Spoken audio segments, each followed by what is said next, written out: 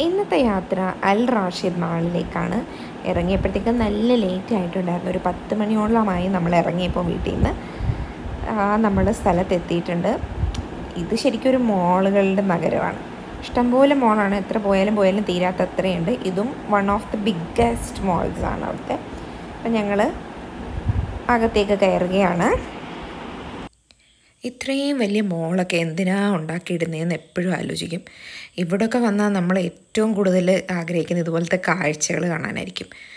എന്ത് രസമാണെന്നറിയോ ഇങ്ങനെ കയറി ചെല്ലുന്നതും കാണുന്നത് ഒരു വലിയൊരു ഏരിയയാണ്. അവിടെ ഇങ്ങനെ രണ്ട് സൈഡിലും ഇങ്ങനെ ഓരോ ഇതിന്റെ പരസ്യങ്ങളൊക്കെ ഇങ്ങനെ കൊടുത്തിട്ടുണ്ട്. അതൊക്കെ ഇങ്ങനെ കണ്ട് കണ്ട് പോവാണ്. പിന്നെ അവിടെ ഒരു കാർഫോറിന്റെ ഹൈപ്പർ മാർക്കറ്റ് ഉണ്ട്. അതിന്റെ ഉള്ളിലേക്ക് കയറി. അപ്പം എല്ലാ ഹൈപ്പർ മാർക്കറ്റും പോലെ തന്നെയാണ്. നല്ല പാട്ടൊക്കെ കേട്ടുകൊണ്ട് ഞങ്ങളിങ്ങനെ ഓരോ കാര്യങ്ങൾ നോക്കുകയാണിത് മൊബൈൽ ആക്സസറീസ് സംതിങ് ആണ്. അങ്ങനെ അതെല്ലാം കണ്ട് കണ്ട് ഇതാ ഇവിടെ മൊബൈലിന്റെയൊക്കെ റേറ്റൊക്കെ കൊടുത്തിട്ടുണ്ട്. ഐഫോണിന്റെയൊക്കെ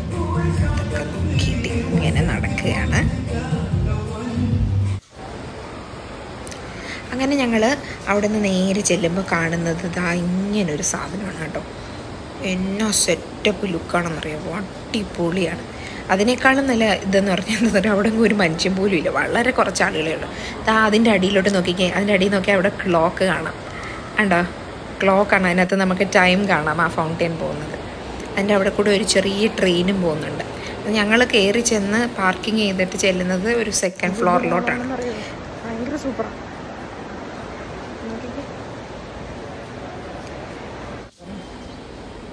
അങ്ങനെ ഞങ്ങൾ ആ താഴേക്ക് പോകാൻ വേണ്ടിയിട്ട് അങ്ങോട്ട് നടന്നു പോവാണ്. അവിടെ ലിഫ്റ്റ് ഉണ്ട്. ലിഫ്റ്റിനകത്ത് കയറി നമുക്ക് താഴേക്ക് പോവാം. ലിഫ്റ്റ് ഓപ്പൺ ആയി. ഇത് അകത്തേക്ക് കയറി അകത്തേക്ക് കയറി കഴിയുമ്പോൾ ഫുൾ ഗ്ലാസ് ആയതുകൊണ്ട് നമുക്ക് അകത്തുനിന്ന് എല്ലാം ആ ഭംഗിയൊക്കെ ആസ്വദിച്ച് താഴോട്ട് പോവാം. പതിയല്ലേ ലിഫ്റ്റ് പോകത്തുള്ളൂ. അപ്പം നമുക്കതിങ്ങനെ കണ്ടുകൊണ്ട് പോവാം. കണ്ടോ അത് ആ ക്ലോക്ക് കണ്ടോ? അതിനകത്ത് ടൈം കാണിക്കുന്നുണ്ട് കറക്റ്റായിട്ട് ആൾക്കാർ കാണും സ്ലോലി ഞങ്ങൾ താഴേക്ക് എത്തി. എത്തിക്കൊണ്ടിരിക്കുന്നു. എത്തിപ്പോയി. അങ്ങനെ അവിടെ നിന്ന് ഇറങ്ങി ഞങ്ങൾ ആ ഫൗണ്ടൈൻ ഒന്ന് അടുത്ത് കാണാമല്ലോ എന്ന് വിചാരിച്ചിട്ട് അടുത്തേക്ക് ചെന്നു.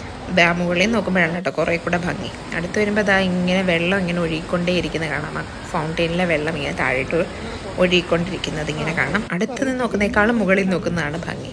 അപ്പോൾ കുറച്ച് നേരം ഇങ്ങനെ അത് നോക്കി നടന്നു. അപ്പോൾ അതാ ഇങ്ങനെ ഈ ട്രെയിൻ പോകുന്ന കണ്ടു.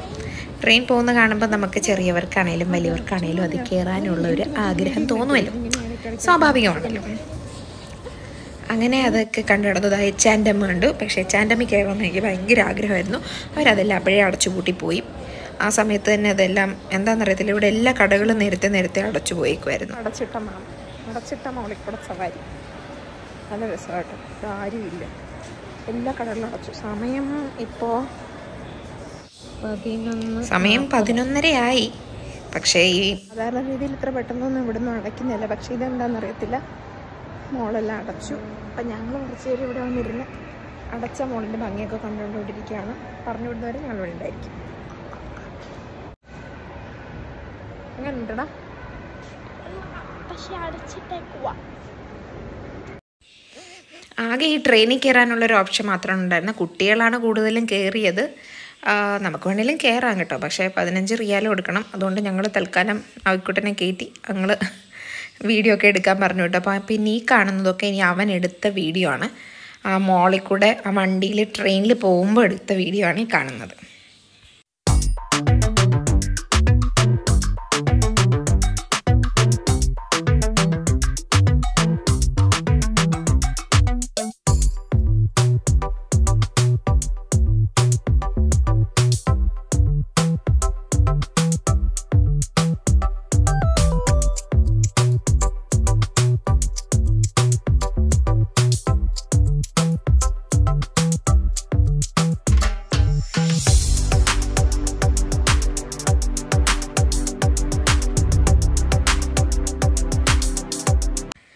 അങ്ങനെ ആയിക്കോട്ടെ ട്രെയിൻ കറക്കൊക്കെ കഴിഞ്ഞ് തിരിച്ചെത്തി. ഞങ്ങളതാ മുകളിൽ നിന്ന് മുകളിലേക്ക് പോവാണ്. അവിടെ ആണല്ലോ പാർക്കിംഗ് അപ്പോൾ അങ്ങനെ ഇതാ ഇതിനകത്തൊരു പനിയൊക്കെ ഇങ്ങനെ ലൈറ്റൊക്കെ ഇട്ട് സെറ്റ് ചെയ്ത് വെച്ചിട്ടുണ്ട്.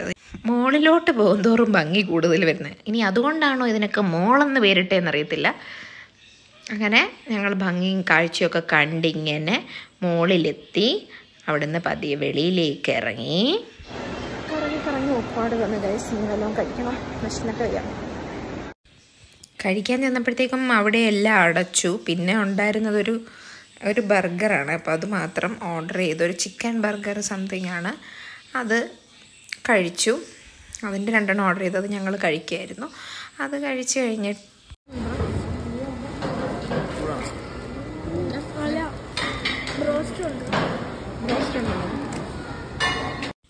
അങ്ങനെ തീറ്റയും കൂടിയൊക്കെ കഴിഞ്ഞ് ഞങ്ങൾ പിന്നെയും നടത്താൻ തുടങ്ങി. ഇനി നമ്മൾ തിരിച്ച് കാർ പാർക്കിങ്ങിലേക്ക് പോവുകയാണ് പക്ഷെ അവിടെ നിന്ന് വിട്ടുപോരാൻ തോന്നുന്നില്ല. കാരണം ഒരു മനുഷ്യനില്ലാത്തൊരു മോളിനി ഈ ജന്മത്ത് കാണാൻ കിട്ടുമെന്ന് അറിയത്തില്ല.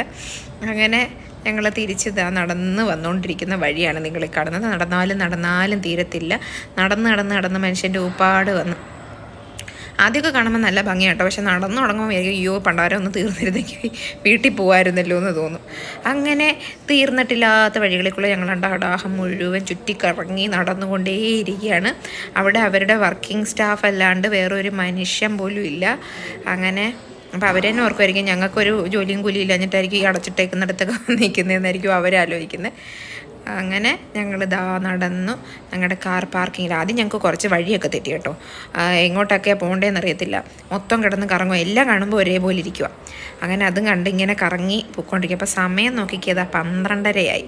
ഇത്ര മണിക്കൂറായിട്ട് കിടന്ന് കറങ്ങുക ഇങ്ങനെ ആ പന്ത്രണ്ടര സമയവും നോക്കി നോക്കി ഇങ്ങനെ ദാ നമ്മൾ എത്തിയിരിക്കുന്നു ഗൈസ് നമ്മൾ കാർ എക്സിറ്റിലെത്തി കാർ പാർക്കിങ്ങിന്റെ എക്സിറ്റാണ് അപ്പോൾ അങ്ങോട്ട് നേരെ പോയത് നമ്മുടെ പാർക്കിങ്ങിലേക്കാണ് പാർക്കിങ്ങിലും അവിടുത്തെ സ്റ്റാഫ് മാത്രമേ ഉള്ളൂ. അവർ വിചാരിച്ചാണ് ഞങ്ങളവിടുത്തെ തൂപ്പുകാരും എല്ലാം ആണെന്ന്. പോവാതെ ഇവിടെ തന്നെ കറങ്ങി നടക്കുന്നുണ്ട്. കാർ പാർക്കിങ്ങിലും അവരുടെ ആളുകളുടെ മാത്രം കാറേ ഉള്ളൂ. അല്ലാണ്ട് വേറെ കസ്റ്റമേഴ്സിന്റെ ഒന്നും ഉണ്ടായിരുന്നില്ല. ഞങ്ങളങ്ങനെ ചെന്ന് കാറെടുത്ത് വെളിയിലേക്ക് പോകണം. ഇവിടെ കാർ പാർക്കിങ്ങിന് ഫീസോ അങ്ങനെയൊന്നുമില്ല കേട്ടോ ഫീസൊക്കെ വാങ്ങിയാണെങ്കിൽ അവന്മാർ കോടീശ്വരന്മാരാവും. അതുപോലെ ആളുകളാണ് വരുന്നത്. പക്ഷേ ഇവിടെ അതിങ്ങനൊന്നുമുള്ള ഒരു ഒരു ചടങ്ങുകളും ഇല്ല. നമുക്ക് ഇഷ്ടമുള്ളിടത്ത് പോകാം ഇഷ്ടമുള്ളിടത്ത് പാർക്ക് ചെയ്യാം. പോരാം. നല്ല സുഖമാണ്. ഒരു പ്രത്യേക തരം ജീവിതമാണ് അങ്ങനെ ഒരു പാതിരാത്രി മുഴുവൻ കറങ്ങിക്കഴിഞ്ഞ് ഞങ്ങൾ തിരിച്ച് വീട്ടിലേക്ക് പോയി.